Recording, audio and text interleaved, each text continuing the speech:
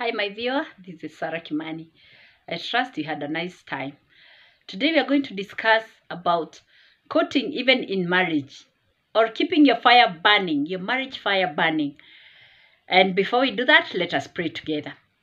Father, in Jesus' name, we give you thanks and honor. Father, you're good to us, you're gracious, you're excellent. Thank you, Father, that you long that, Lord Almighty, we may stay in happy marriages, with Jehovah. I pray that God Almighty, as I speak to my viewers, oh God, you're going to bless them, you're going to cause them to understand and to implement that which you're saying, oh God Almighty, for the glory of God, oh dear Lord, and for their happiness. I give you thanks, Lamb of God, and I glorify you. In Jesus' name we pray. Amen and amen. So, my viewer, the thing is this uh, what is it that you stopped doing and you were doing it before you got married? That is what you're talking about. You know what? Marriage life is is is a continual a continual pursuing of your spouse. Remember the things that you used to do before you married them. You would call them, you would find out how they are, you would ensure they are happy, you would apologize easily, you would travel all the way and go and meet them. You would do many, many things, even out of your way, to go and meet your spouse and to make sure that they are happy and to make sure that communication is going on.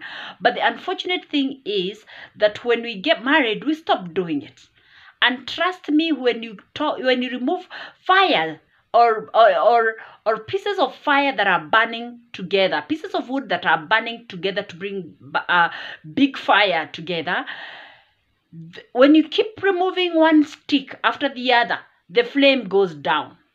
The flame goes down. So if a, a, flame dies then the, it's like the same way. The marriage fire will go down if you stop pursuing your spouse even after marriage.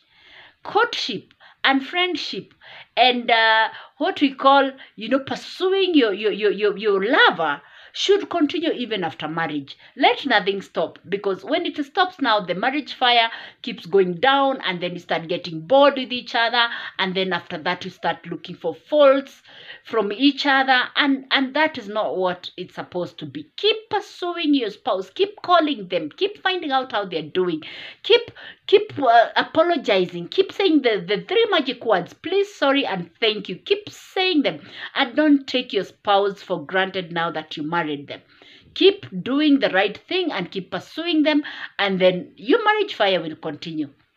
Okay, you know, sometimes you look at other couples and you look at them out there, and we call it uh, looking at uh, seeing the grass green, greener out there. You can make your grass green if you keep pursuing your spouse, if you keep loving them, if you keep doing those nice things and calling them, you know, lovey doveys, those sweet nothings that you used to do before you got married. Please keep doing them. And once you do that, I can assure you your marriage fire will come back and you will continue to be friends even as you're married. Okay, make your marriage your make your marriage partner your best friend. Keep sharing with them. Keep asking them, what's in your heart? How am I doing as a spouse? Can we talk together? Can we continue to be friends? Can I pray with you?